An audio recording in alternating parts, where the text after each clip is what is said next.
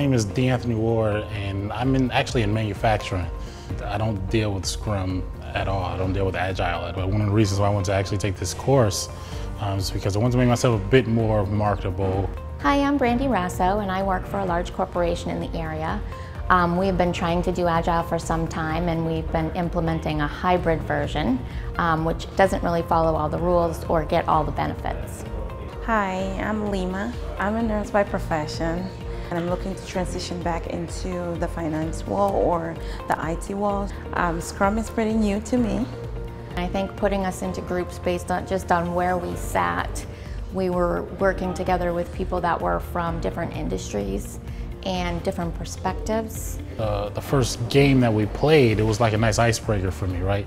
It was in game form, went right into my subconscious. With the workshop yesterday, I kind of saw how this all coming together as a team on one platform makes a big difference because at my workplace it's like people work differently but we're all working as a team. But with the scrum it taught me that working together you could do things faster and come out with um, better results. That was a really excellent exercise and, and we learned so much yesterday about how to plan, how to estimate, when to ask questions, what questions to ask, and then how to really collaborate between ourselves to, to do the work as most the most efficient way. And then on day two, you know, he kind of goes into the book theory of it. It's almost like you're you're working backwards. You have fun, you work together, right?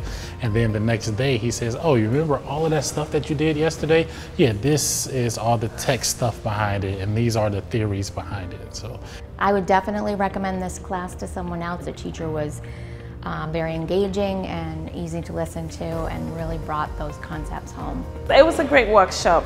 Good to meet new people. The experience was great. So love to come back again for the next level.